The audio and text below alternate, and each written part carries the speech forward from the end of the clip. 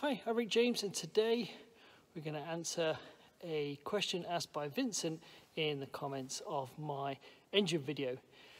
Basically Vincent said, how come when a helicopter engine starts, the main rotor blades don't start spinning straight away? Like what do we have to do as a pilot to engage the rotors? So I'm going to go and show you how this system works on the A-Star.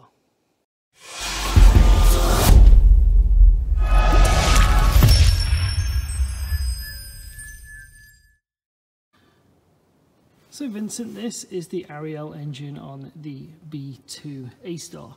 And basically it's kind of in like two parts. We have the front part, which basically produces the power. And then we have the rear part, which is harnessing the power. So basically right up at the front here, we've got the axial compressor. And that comes through into the centrifugal compressor. Then that comes through into the combustion chamber, which basically mixes the fuel through the fuel nozzles here with the compressed air and it expands it and then it fires the gas out the back. But as it comes through here, it goes through what's called the gas producer. And what that does is as the uh, gas is going out the back, it's rotating and through a drive shaft, it's turning the compressor at the front. So as that turns, the compressor turns and it pulls more air in, more air in, more fuel in, more bang. So it keeps the engine self-sustained.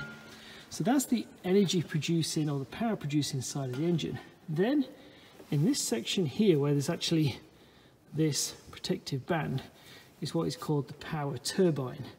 Now the power turbine is a turbine that turns from the gas exiting out the back of the engine.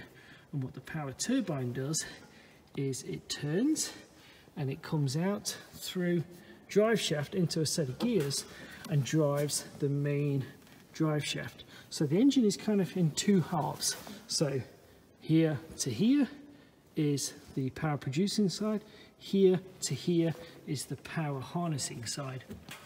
So they're kind of, they're not connected at all. So when the engine starts up, this section is free to turn. The gas is going through, but it's not powerful enough to start turning the power turbine and the main drive shaft which goes through into the main transmission and then up to the rotor head.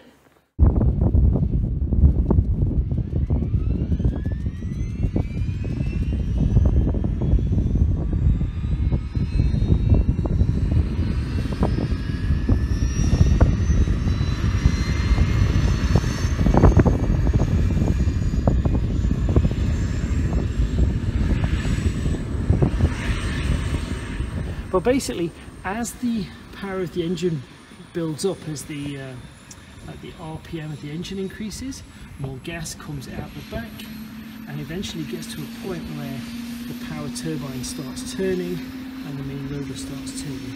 And it's a completely, it's a free-wheeled system. So for the A-Star, there's nothing that I do as a pilot to engage the rotor system. All it is, is once the engine is producing enough gas to come out the back to turn the power turbine. In that section it then drives through the main drive shaft which then turns the transmission.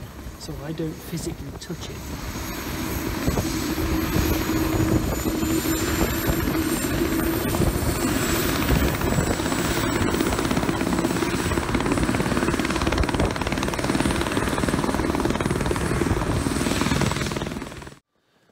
So that is how a gas turbine engine turns the main rotor.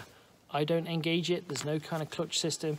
It is purely done with the gas going out the back of the engine, driving the free turbine, which is called the power turbine. That harnesses the power being produced by the engine, turns the drive shaft, turns the main transmission, turns the main rotor, I fly. And that's as simple as that. I hope this answered your question. If any of you guys have any more questions, definitely stick them in the comments below. And I'd like to get my camera out. If you like this video, give it a thumbs up, give it a subscribe, and I'll see you next time.